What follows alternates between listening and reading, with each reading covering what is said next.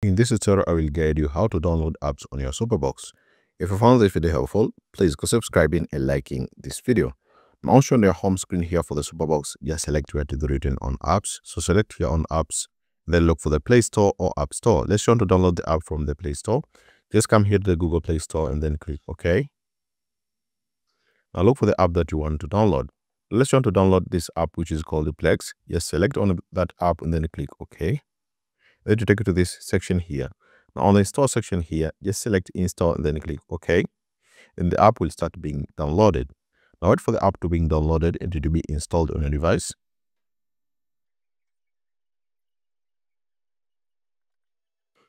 After it had finished downloading the app and installing it, just press the home button on your remote and then go to the apps section here and look for the app that you've downloaded. It you'll find it on the app section here and then you can open and use it. So thanks so much for watching this video. I hope this story helped you and see you next time